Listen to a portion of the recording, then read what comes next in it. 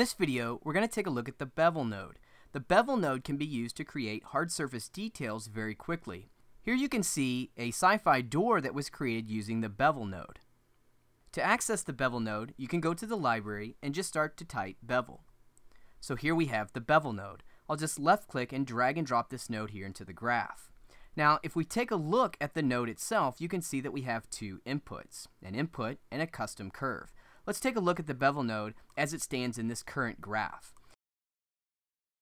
For the primary input, you simply feed in a black and white mask as you see here, and the bevel node will create bevels. So if I just double click the bevel node and zoom in, you can see that it creates bevels around this mask that was input.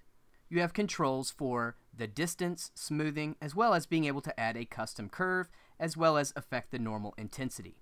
The outputs for the bevel node are as follows. You have a height, which is what we're viewing here, and you also have the normal. So the normal map is automatically generated in the bevel node.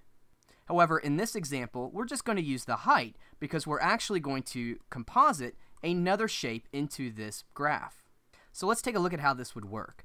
So here I have a shape and this is just an SVG. It's just a real simple shape here, uh, just a couple squares that I created in this SVG file. So now we have our bevel node. Let's go ahead and get this guy into place. And so for my primary input, I'm just going to make this connection here. So you can see that I have taken the output from the SVG and fed that into the primary input of the bevel node. Let's double click the bevel node to view this here in the 2D view. So by default, you can see that the distance is set to 0.5. So what I'm going to do here is I'm just going to double click to numerically enter a value and I'm going to type in 0 and hit enter. So this essentially is no bevel. So if we take a look at 0 being the no bevel point, if we start to move the slider to the right, you can see that we bevel inwards, and if we move the slider to the left, we begin to bevel outwards. So here I'm actually going to type in 0.01 and keep this as my bevel value. Now I'll zoom in even closer and you can see that we also have a smoothing value. So some of the bevels could start to get a little stair stepped in this area. So if you want to introduce some smoothing, you can do so to smooth that out. That will also smooth around the edges of the bevel. In my case here, I'm going to set this to zero. So now we'll back out and we have our bevel in place. So what I'm going to do now, again, like I said, if we look at our height, which is what we're viewing now, we have height information, and then here if I double click, you can see that I've generated a normal. So I could use this normal as standalone, or I could also combine it with some of the other normal combined nodes here in the substance library. However, in my case, I just want to composite this down into the current shape that I have. So in this case, I've already inserted in a blend node, so here you can see that I have this blend node, and what I need to do is just simply take my height channel, and I'm just going to plug this into the foreground. So if I double click, now you can see that I have the shape composited, and since I'm passing this along through the rest of the chain here, you can see that my bevel operation has already been placed here into the model. And so very quickly, I can start to just build up shapes to create a hard surface asset. Again, if I want, I can simply go back to the SVG, and I can select my shape. So for instance, uh, if I want to make this just a little bit thinner, I can just move this value here. So I'm again just changing my shape, and you can see here in my viewport that we get this interactive feedback with the operation as we change our bevel shape. So there's one last thing that we need to cover with our bevel node, and that is this custom curve input. So what this input allows us to do is modify the profile of the bevel. So let's take a look at how this works. Let's start by creating a new SVG. I'll hit the space bar to open my operational nodes. I'll go to SVG, from new resource, and we'll just leave this an untitled. We'll click OK. Uh, let's set this node here to grayscale and let's set the background to white. Let's grab our shape tool and I'm going to just use uh, a square here or, or, a rectangle and we'll set this to black. So here let's just go ahead and draw this guy out. So here's our shape. Uh, here's our bevel. Let's come over to our library, drag and drop another instance of the bevel node. And so here we have our input.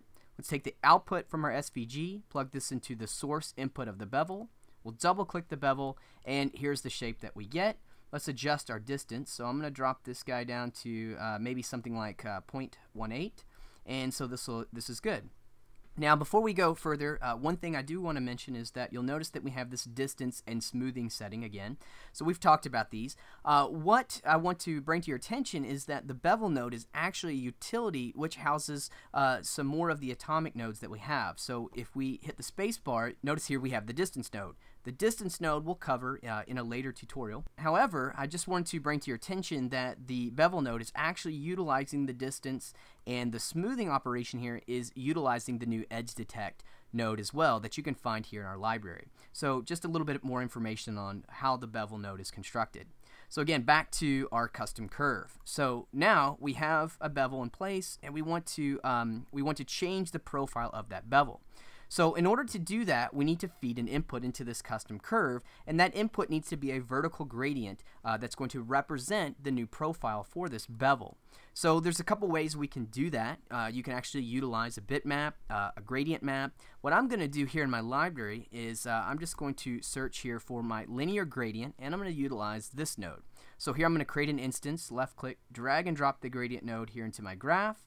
Uh, let's take the output of this node here and let's place it here into the custom curve. Uh, so what we want to do now, if we take a look at this gradient, uh, right now we just have basically going from uh, black to white, uh, bottom is black, uh, top is going to be white. Now the values of this this image here, the, the values of the pixels here are what are going to be used to drive this custom curve. And the actual values that are being sampled are going to be the first row of pixels in the image. So that's going to be just this area here. So here's our linear gradient. Let's adjust our tiling. So maybe we'll do something like say 4. Let's double click our bevel. Now nothing's happening just yet because we actually need to enable the custom curve. So all I have to do is take false here, this false uh, button, and just set this to true. And now you can see that I've actually changed the profile of this bevel and I now get this kind of stepped bevel here by utilizing this custom gradient file that I fed into the custom curve.